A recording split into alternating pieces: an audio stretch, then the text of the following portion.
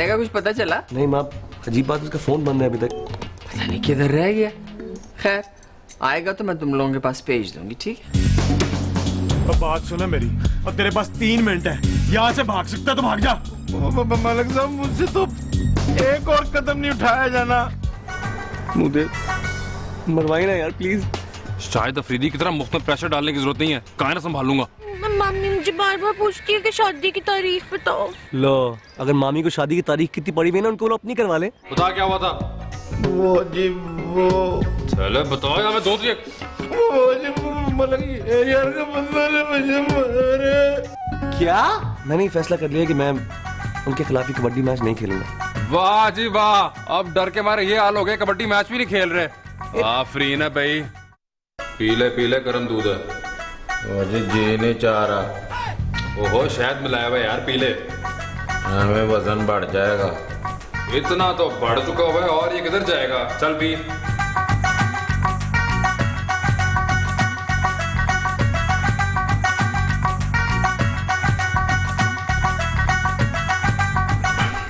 वो जी मूदा भाजी वो मलक शहर यार। पता है फ़िक्र ना कर कुछ नहीं करूँगा उसे।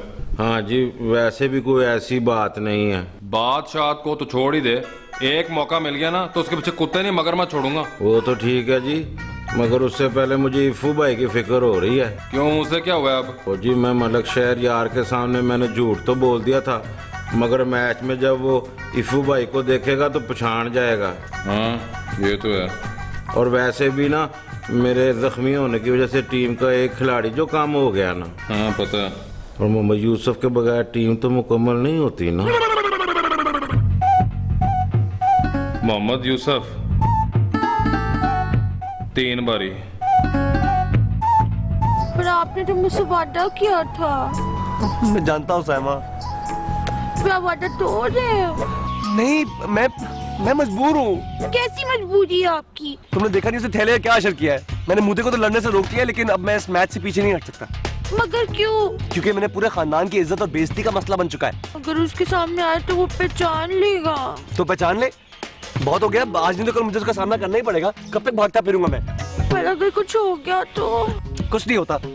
और तुम ही मुझे बताओ जब मैं पूरे गाँव के सामने ढंडोरा पीटता रहा हूँ कि हम ये कबड्डी मैच खेलेंगे हम ये कबड्डी मैच जीतेंगे तो उनको कैसा लगेगा कि अगर इफ्तिखार चीमा इस मैच से दौड़ गया है? कितना बुरा इंप्रेशन पड़ेगा गाँव वालों पर। बल्कि चाचा एक बात पे कैसा बुरा इंप्रेशन पड़ेगा? उनको कैसा लगेगा कि जो उनकी भांजी से शादी करना चाहता है वो एक कबड्डी मैच से भाग गया। डर गया? कभी नहीं। तो थैला भी आपकी टीम में नहीं है। आई नो तुम फ़िक्र ना करो मैं संभाल लूँगा। आप तो ऐसे कह रहे हैं जैसे आप ओलंपिक में कबड्डी खेलते रहे ओलंपिक्स में कबड्डी नहीं होती। जो भी होती है। जान छोड़ दो ना गुस्सा थूक भी दो। प्लीज़ तू तू करा प्लीज़ मलक साहब आप जाने भी दे गुस्सा। वह कैसे जाने दूँ? कोई हमारे इलाके में आकर हमारी मांग के साथ प्यार की पींगे डाले और हम उसका पता भी ना लगा सके। और मैंने तो जी अपना सारा इलाका छान मारा है। मुझे तो कहीं नज़र नहीं आए। लगता है वो चीमो के इलाके में ना हो। पर तूने उस थैले के पीछे बंदे नहीं लगाए थे? वो बंदे तो लगाए थे जी। जब से वो चीमो की हवेली में गया ना बिस्तर पे ही पड़ा है। वैसे हैरानगी की बात है मीते कि चिमो की तरफ़ से कोई ठाठू नहीं हुई। आपके साथ मुकाबला करके किसी ने फंसना है? या तो फिर वो कबड्डी के मैदान में कुछ करके दिखाएँगे। सवाल ही नहीं पैदा होता। हमारे लड़के इतनी ताकत में हैं कि चीमो के लड़कों को उठो उठा के चित करेंगे बल्कि डिस करेंगे। वेरी गुड वेरी गुड मीते चल फिर गड्डी निकाल आज किधर जाने का मूड है? ओए अपने ससुरालियों को मैच की दावत भी तो देनी है और क्यों नहीं जी क्यों नहीं? अगर उसने आपके बारे में पूछा है ना तो उसका मतलब है उसे आपके और मेरे बारे में पता चल गया है। आई डोंट नो और अल्लाह अब क्या होगा? बहुत हो गया। मैं जल्दी अम्मा से बात करूँगा ताकि वो सीरियसली चचा इकबाल से बात करे और सब ठीक हो जाएगा। इतनी जल्दी सब कुछ ठीक नहीं होगा? आपको क्यों नहीं समझ आती? मौल साहब आप फ़िक्र ना करें। अरे बेटा बच्चों के लिए सिफारिश जितनी जल्दी आ जाए उतना ही अच्छा है। ओ जी पता है मैं बस कल ही शरफू को लाहौर भिजवा के मंगवा लूँगा। और वो सुना थैले का कोई एक्सीडेंट वगैरह हो गया? क्या हुआ? ओ, नहीं जी एक्सीडेंट नहीं बस ही गुर मौलवी साहब। और मलिक साहब आप किधर? और बस जी मौलवी साहब इधर से गुजर रहा था। आपको यहाँ महफिल लगाए देखा तो सोचा दो मिनट रुक ही जाए। अरे महफिल कैसी? वो चीमा साहब ने सफों के लिए पैसे भिजवाए थे। महमूद चीमा साहब वही देने के लिए आए थे। क्या हाल है चीमा साहब? ठीक हूँ। अपनी सुनाए। अरे हमें क्या होना है? वैसे का वैसे ही है सब कुछ। ये छोटी छोटी बातों पे नाराजगियाँ अच्छी नहीं होती। नाराज़गी? और तौबा करें मौलवी साहब हम तो कब की सुलह कर चुके हैं। क्यों जी? हम्म।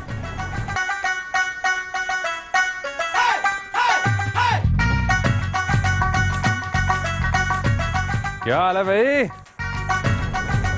ठीक। अकेले अकेले बोर होके एंजॉय हो रहा है? खैर तो है। क्यों क्या हुआ?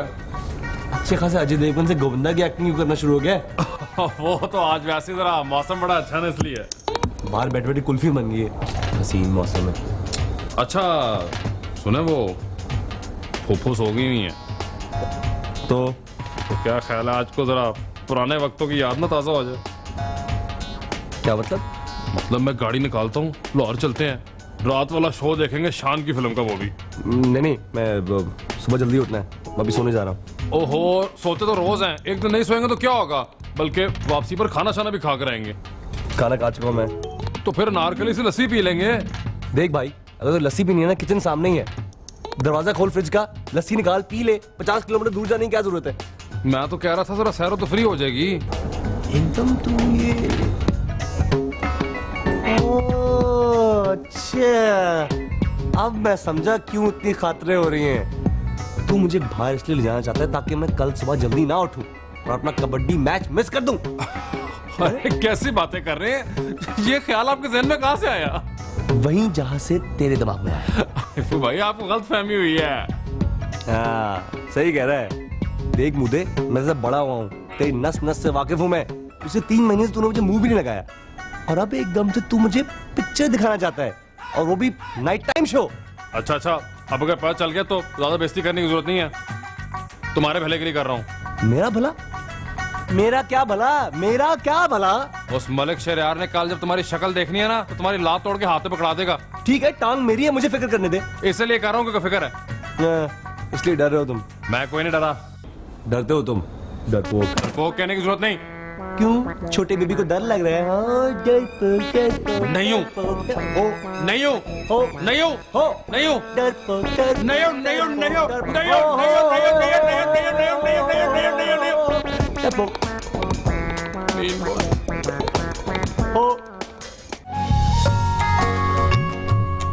माँ तू भी चल ना। ना मुझे कबड्डी देखने का कोई शौक नहीं है। आज से बड़ा मज़ा आएगा वहाँ बहुत लोग होंगे। और वो चचा के बाल वगैरह भी होंगे। चले फिर तो मैं अगले दस साल भी न जाऊँ। ला। माँ मुझे जान गुस्सा थूक दे। वैसे ही वापस आके मुझसे बड़ी ज़रूरी बात करनी है। कौन सी बात? शिफू भाई चले? चल भाई आजा पर वो ज़रूरी बात बेटा। माँ बात बहुत लंबी है बहुत देर लगेगी बताने में। मैं वापस आऊँगा ना मुझे देर हो रही है। अच्छा चल ठीक है फिर। देख इंसानों की तरह जाकर खेलना और खेल को खेल समझ के खेलना और उन लोगों के ज़्यादा मुँह मत लगना। आप फ़िक्र ही ना करें खाला जी अगर कोई ऐसी बात हुई ना तो सबसे पहले मैं भागूँगा। चल वे। छोड़े मत ये ऐसी मज़ाक कर रहे हैं। वैसे भी आप जानती हैं चिल करे मैं बड़ा एक स्पोर्ट्समैन स्पिरिट वाला आदमी हेलो मुद्दा भी आ गया है। मुद्दे तू तैयार नहीं हुआ? नहीं जी। क्यों तूने जाना नहीं है? नहीं चल खेली ना बेशक लेकिन साथ तो चला जा। अरे छोड़े अम्मा छोड़े। इनको रहने ही दें। इनका आजकल किसी से मुकाबला करने का दिल नहीं है। और वैसे भी कबड्डी किसी नाजुक लोगों की गेम नहीं है। साथ ताने मारने की ज़रूरत नहीं है। क्यों? तुझे शर्म आनी नहीं है। है अब तुम दोनों तो आपस में इस वक्त ना लड़ो। चलो जाओ शाम। हाँ जाओ। हारने का टाइम आ गया। है ए मुकाबला करके हारना घर पे मुँह छुपाकर बैठने से कहीं बेहतर है। समझे? चलते ले। बाय अम्मा मुद्दे तू भी ना। क्या? चला जाता। जाने दो उसको और अच्छा की टोपी बना के भेजा है। बाकी के बाल तो बच जाएँगे।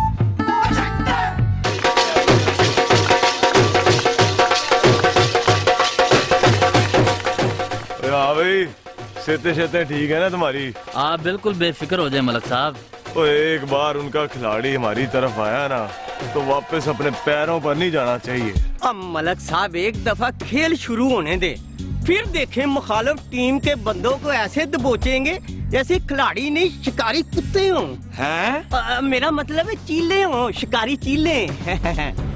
ओए आई नहीं अभी तक वो चीमों की टीम। लो जी सारे फिबाई की बात को गौर से सुनो। ओके बॉयज़ बस तुम लोगों ने अपना फोकस ठीक रखना है ओके मगर इफू भाई उनके खिलाड़ी बहुत तेज हैं। अबे उन्हें तो यार कोई फ़र्क नहीं पड़ता। बस तुम लोग सिर्फ़ पॉजिटिवली सोचो। बी पॉजिटिव और मेरा तो जी ए पॉजिटिव है। पर अंपायर साहब। ओए अंपायर नहीं रेफरी वो जी रेफरी साहब। देखिए जी मैं इस वक्त खेलने की हालत में नहीं हूँ। और आखिरी वक्त में नया बंदा हम कहाँ से ढूंढ कर लाए खेलने के लिए? ओए मगर क्या बात है रेफरी साहब। और इनके जख्मी होने की वजह से इनका एक खिलाड़ी कम हो गया है। और अब ये कह रहे हैं कि इनकी जगह कप्तान दो बारियाँ लेगा। अशके भाई अशके। गेम के असूल ही बदल दिए नहीं जी वो फिर हम भी एक एक बारी ज़्यादा ना ले लें। मैंने तो ऐसा कुछ नहीं कहा जी। ये बात दूसरी टीम को मंजूर नहीं है और मैं भी ये बात नहीं मान सकता। वो वैसे कहा है वो तुम्हारा कप्तान जिसने इतना आला आइडिया दिया? यहाँ? और किधर है? सामने तो आ। मलक साहब ये तो ओए तुम? ब्रह्मा। यही तो है इफ्तार चीमा। चीमों की टीम के कैप्टन। अशके भाई अशके जिसको ढूंढा गली गली वो हमारे कार के पिछवाड़े मिला। देखे इफ्तार साहब मैं आपकी बात ना रेफरी साहब ना। मजबूरी है उनकी। ले लेने दो दो बारियाँ। जी? ओए आफ्टर ऑल स्पोर्ट्समैन स्पिरिट भी तो कोई चीज़ है ना। ठीक है मलिक साहब। जैसे आपकी मर्ज़ी। ओ, लेकिन मलिक साहब ये और ना उम्मीदें ना और लेने दे इनको दो बारियाँ। इन्हीं बारियों का तो इंतज़ार था मुझे। देखिए जी मुझे सिर्फ़ फेयर गेम खेलनी है और और बस ओए। बहुत तड़पाया तूने मुझे। क्यों? मैं क्या रानी मुखर्जी हूँ? तूने तो वो किया जो कोई करने का सोच भी नहीं सकता। तूने मेरी होने वाली बीवी। हाँ बेटा ना। तू तो क्या?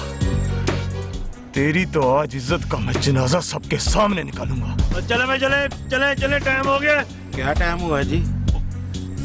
खेल का। चल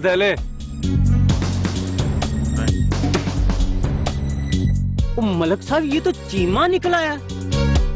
ओए आज एक तीर से दो दो शिकार करने का मौका मिला है मीदे इसका तो मैं वो अशर करूँगा कि इसकी चार पुश्ते मेरे सामने आने का नाम नहीं लेंगी। आइए आइए आइए। कंडो वाली पहली में चले। कोई बात नहीं। और यार देर तो नहीं होगी पुत्र हमें। और देर किस बात की? जी आप आए बाहर आई। अच्छा पुत्र शेरू तू ये बता कि वो तैयारियाँ कैसी हैं तेरी? भाई तैयारियाँ कैसी होनी है? जीतना तो इन्हीं लोगों ने है। आ चाची तू बैठना। और चल मीदे बिठा इनको। ठीक है। आओ जी चाचा के बाल साहब आया आया अच्छा हुआ तू भी आ गई। जी। और तेरा वो चीमा भी आया हुआ है। और उसके साथ तो मैं वो करूँगा ना कि सारी ज़िंदगी याद रखेगा। जी। पता चल जाएगा उसको कि शहर यार की पसंद को पसंद करने का नतीजा क्या होता है?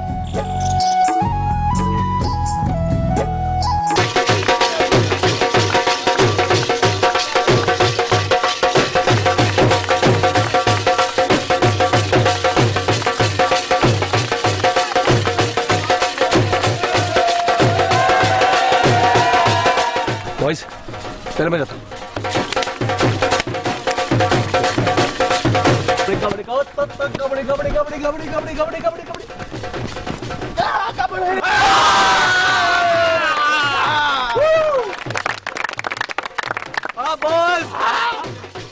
वन पॉइंट अब दूसरी team kabaddi kabaddi kabaddi kabaddi kabaddi kabaddi kabaddi kabaddi kabaddi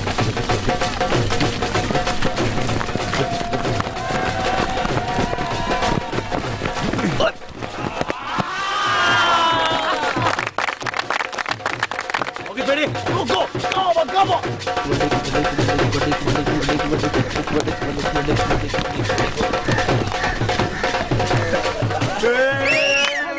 और जफा देख कैसा मारा हुआ उसने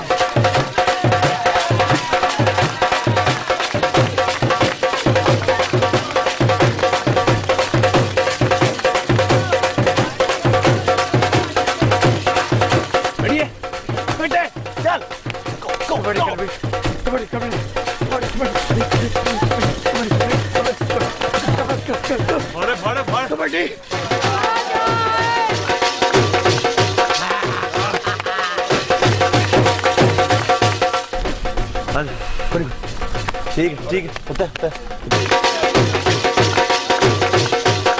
आए जी आए कप्तान साहब दोबारा आए। इफू भाई आप बहुत थक चुके हो। नहीं नहीं मैं जाऊँगा सिर्फ़ मैं जाऊँगा। और क्या हुआ है चीमा साहब? क्यों उधर रह गए हैं? इधर आए ईफू भाई वो आपको पकड़ लेंगे। यार लेकिन अगर मैं नहीं जाऊँगा तो तुम तीनों में से कौन जाएगा? भाई वो हमसे बहुत तेज है। मुझे नहीं पता क्या। और कोई नहीं है क्या मलक शहर यार के मुकाबले का? अगर आप लोगों में से कोई नहीं आना चाहता तो नहीं नहीं एक मिनट एक मिनट। क्यों भाई? निकल गई सारी फूक। और इतना ही दम था। वो इसमें जाऊँगा। भाई। अपनी हालात तो देखें। हाँ, लेकिन मैं नहीं कहता फिर कौन जाएगा? कौन है मेरे